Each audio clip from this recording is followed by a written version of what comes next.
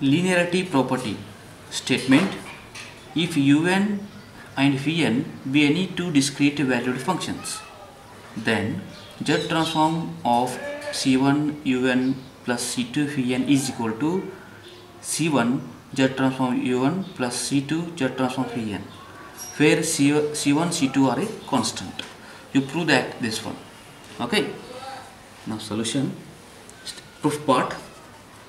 Is a proof we have by the definition okay definition is z transform un is equal to summation n is 0 to infinity un z raised to minus n. Now same z transform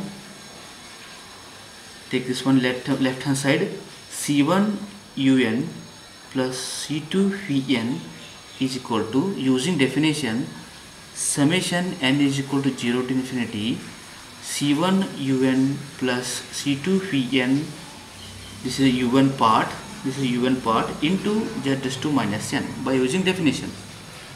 And separate the terms summation n is equal to 0 to infinity c1 un z raised to minus n plus summation n is 0 to infinity c2 vn z raised to minus n and c1 and c2 are a constant take outside.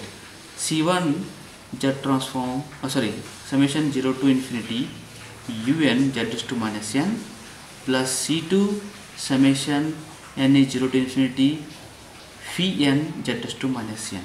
Now see this part equal to z transform un similarly this summation part is a using definition this summation part c1 into z transform un plus c2 into this part is a again using definition z transform phi n.